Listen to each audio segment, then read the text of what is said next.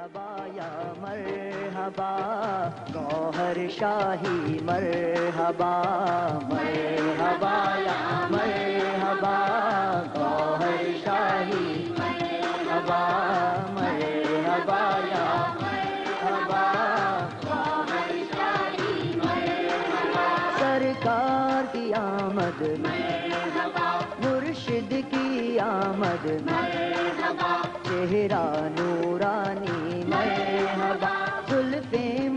مستانی مرحبا مرحبا یا مرحبا گوہر شاہی مرحبا مرحبا یا مرحبا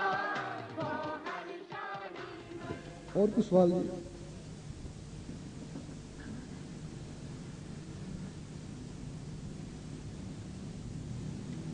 حدیث میں آتا ہے کہ جس آدمی نے خانہ کعبہ کی طرف منہ کر کے تھکا تو اس کے پیچھے نماز نہیں ہوتی۔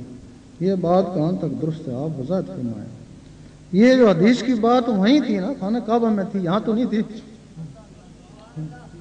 یہاں تو نہیں گئی، انہوں نے وہاں گئی تھی نا۔ یہاں تو یہ ہے کہ مسجدیں ہیں، نیچے قرآن مجید پڑھے ہیں، لیکن اوپر پردہ ہے۔ دوسری منزل ہے، وہاں بھی آپ نماز پڑھ سکتے ہیں۔ یہاں سے کھانے کعبے تک تو پتہ نہیں کتنے پردے جب کھانے کعبے میں اگر کوئی ہو تو وہاں اس کی طرف منہ کر کے تھوکے گا تو باقی اس کی نماز نہیں ہوتی۔